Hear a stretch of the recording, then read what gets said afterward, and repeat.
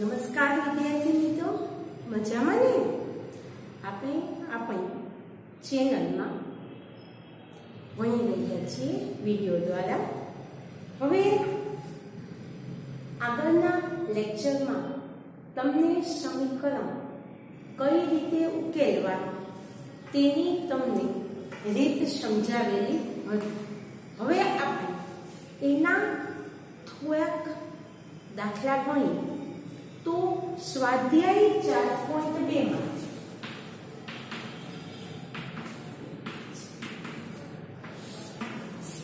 આપણે શું કરીએ છીએ?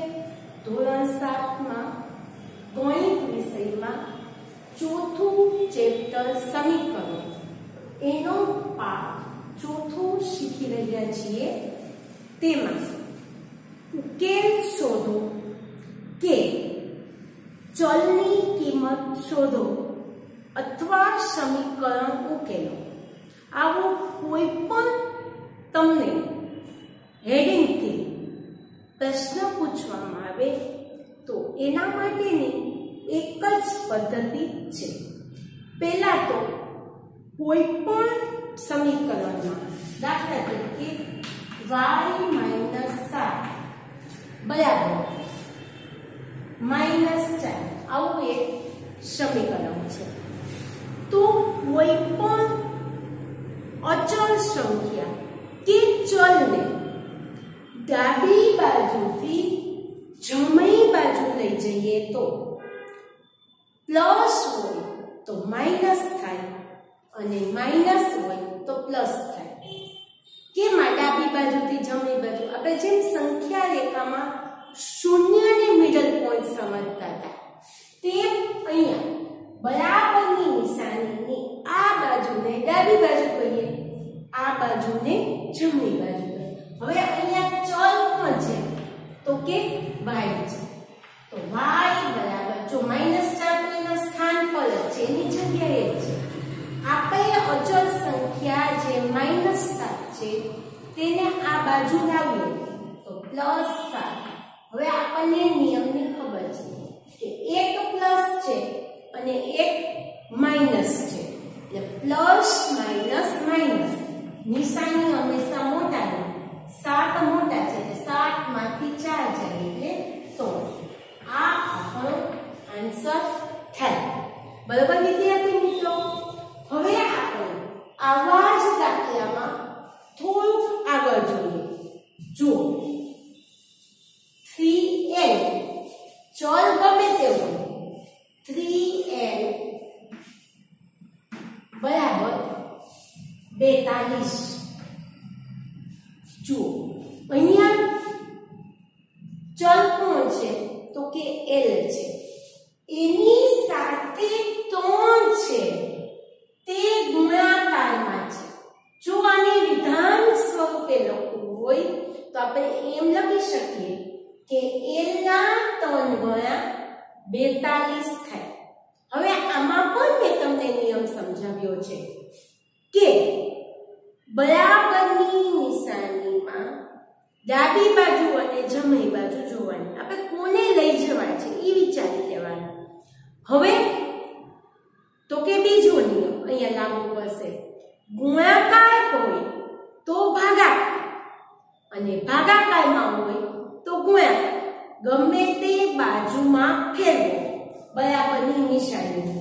તો અહીંયા આવશે એલ બરાબર 42 ના છેદમાં ત્રણ. એલ બરાબર અતિ સંક્ષિપ્ત રૂપ આપીએ.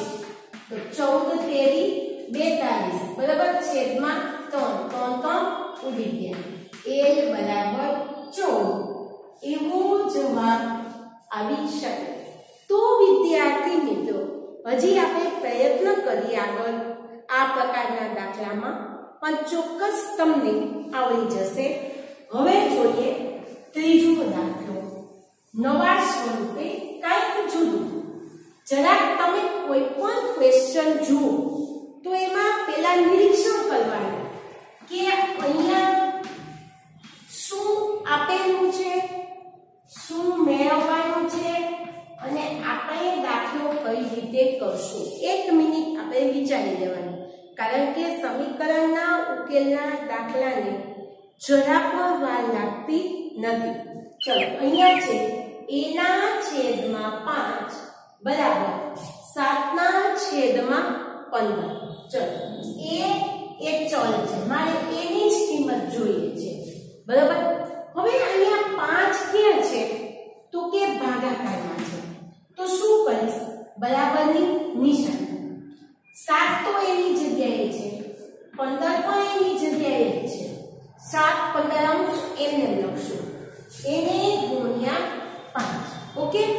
હવે તો કે એ બરાબર સાત ગુણાકારમાં છે એટલે છેદ ઉડે પાંચ પાંચ ઉડી ગયા તો એ બરાબર સાતના છેદમાં ત્રણ અહીંયા સુધી આપણને જવાબ આવ્યો હવે ફરીથી આપણે ચોથું ધોરણ, પાંચમું ધોરણ યાદ કરીએ કે સાતના છેદમાં ત્રણ છે, તે અશુદ્ધ પૂર્ણાંક છે.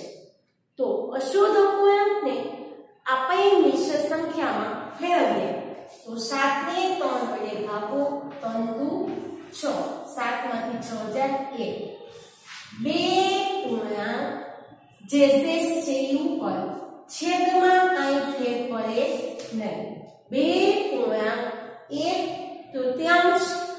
એમ પણ લખી શકાય. કેને તો કે સાતના છેદમાં ત્રણ.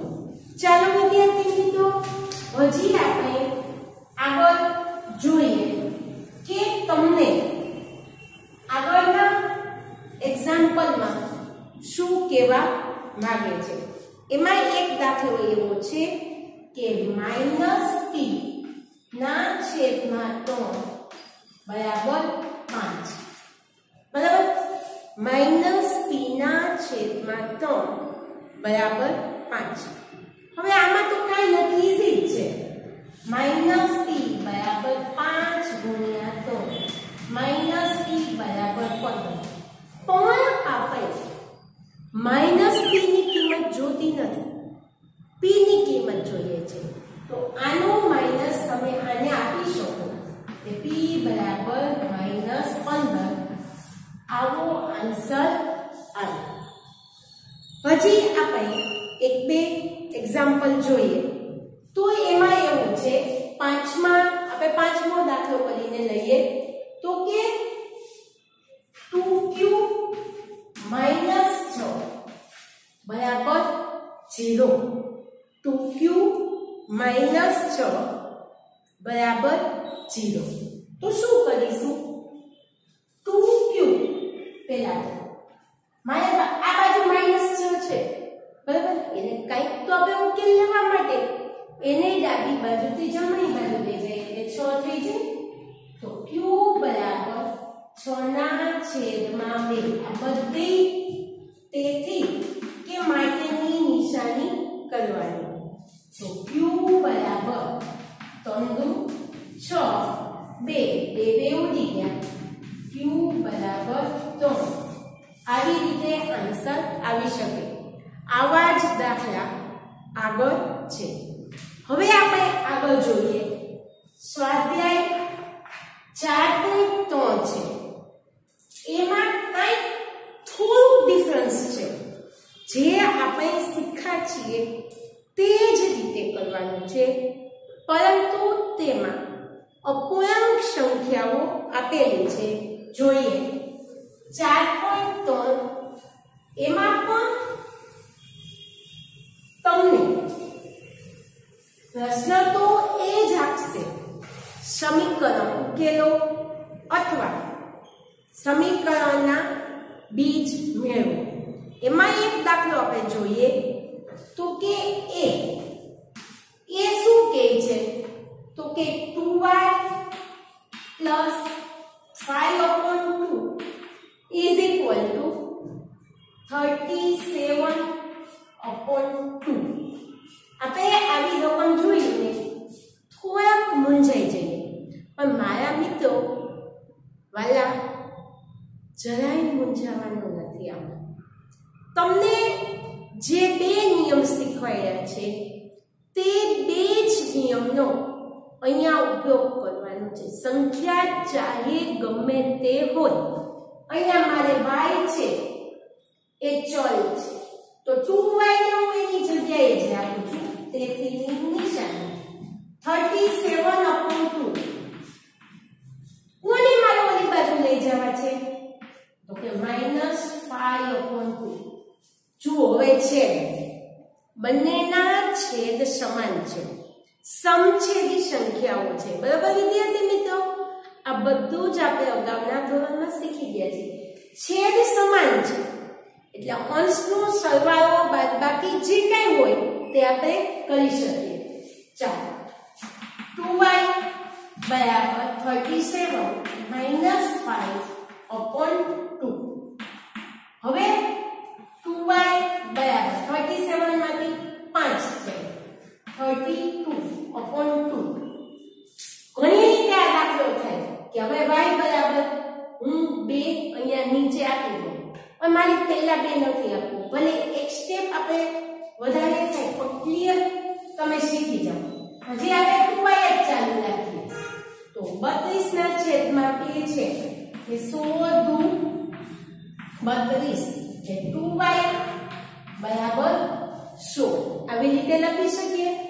therefore y બરાબર 16 ના છેદમાં 2 therefore y બરાબર 8 દુ 16 7 છે કઈ અઘરું? જે કાંઈ નિયમ શીખ્યા છે, તે નિયમને આધારે જ આપણે અહીંયા દાખલા ગણ્યા છે. હજી એક દાખલો આપણે લઈએ. અહીંયા એવું છે બી કરીને લઈએ તો કે 2b ના છેદમાં 3 બરાબર સમજો વિદ્યાર્થી મિત્રો 2b ના છેદમાં 3 માઇનસ 5 બરાબર તો જ્યારે આવી બધી જ નિશાનીઓ તમને ભેગી લાગે ત્યારે તમને ખબર છે તમે પાંચમા ધોરણમાં કંઈક શીખી ગયા છો. બરાબર? જે આપણને સહેલું કે જે પહેલા આપણે કરી શકીએ, તે પહેલા જો, અહીંયા સીધો ભાગાકાર ગુણાકાર ન કરી શકાય અહીંયા શું કરે? તો કે 2b ના છેદમાં તમને કાંઈ ટચ જ નહીં કરવાનો. અત્યારે. મારે શું કરવાનું? તો કે બરાબરની નિશાની. તો એની જગ્યાએ છે આ પાંચને હું આમ લઈ લઉં પ્લસ પાંચ હવે, તો કે 2b ના છેદમાં 3 બરાબર? 8 બરાબર? Therefore, હવે બે અંશમાં છે અને 3 છેદમાં છે. તો અહીંયા લઈ આવીએ. તો 8 ની જગ્યાએ છે.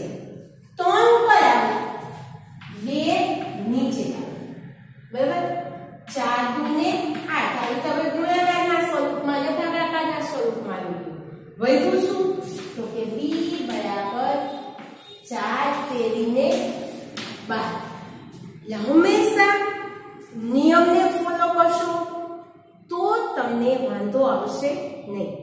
ચાર પોઈન્ટ ત્રણમાં એક બીજો દાખલો છે એનું આપણે પેલું જોઈએ તો એ શું કહેવા માંગે છે આપણને તે જોઈએ તો કે બે કૌંસમાં x 4 બરાબર 12 બે કૌંસમાં x 4 બરાબર 12 જુઓ વિદ્યાર્થી મિત્રો કાંઈ જ નથી એમ કહો તો પણ ચાલે આ x 4 છે ઈ કૌંસમાં છે એની બહાર બે છે એનો અર્થ એવો થાય કે આ બે છે એ આખા x 4 ને ગુણે છે ચાલ